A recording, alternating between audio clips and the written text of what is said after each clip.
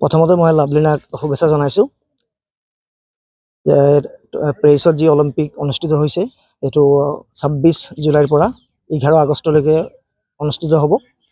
আৰু আমাৰ ধনচিৰিৰ আমাৰ অসম তথা আমাৰ ভাৰতৰ গৌৰৱ লাভলীনা তাত গৈ উপস্থিত হৈছে। আৰু লাভলীনাৰ এইবাৰ ছেভেণ্টি ফাইভ কেজি যিটো মিডিল ৱেইট কেটেগৰী সেই ৱেইট কেটেগৰীত তাই খেলিব। আৰু ছাব্বিছ তাৰিখে অলিম্পিকটো অনুষ্ঠিত হ'ব তাইৰ খেল আছে একত্ৰিছ জুলাইত আছে প্ৰথম খেল prelims round of sixteen.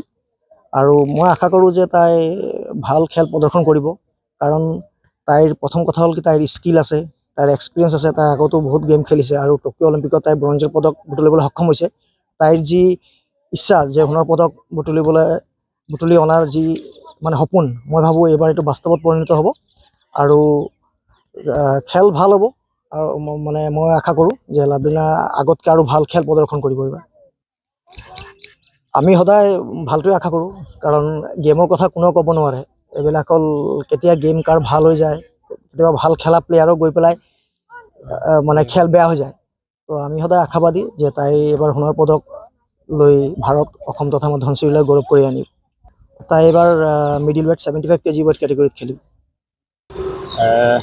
Borpathar জীয়ৰী লাভনা বৰাগোহাঁই ইতিমধ্যে পেৰিছত গৈ উপস্থিত হৈছেগৈ। তাই একত্ৰিছ জুলাইত তাই তেওঁৰ খেল আছে। আৰু আমি এইবাৰ আশা কৰিছোঁ যে লাভলীনাই খুব ভাল খেল প্ৰদৰ্শন কৰিব। যিহেতু তেওঁ ইয়াৰ আগৰবাৰ ব্ৰঞ্জৰ মেডেল আনিবলৈ সক্ষম হৈছিলে। এইবাৰ আমি আৰু আশা কৰিম তেওঁ যেন মেডেলৰ ৰং সলনি হয়। তেওঁ আমাৰ কাৰণে দেশৰ কাৰণে গ'ল কঢ়িয়াই আনক। তাকে আমি সকলো আশাবাদী খুব মানে আগ্ৰহেৰে আমি বাট চাই আছোঁ তেওঁৰ খেলখনৰ কাৰণে। আমি শুভেচ্ছা জনাইছোঁ লাভলীনাই যেন খুব ভাল খেল প্ৰদৰ্শন কৰে আৰু দেশৰ কাৰণে সোণ কঢ়িয়াই আনে।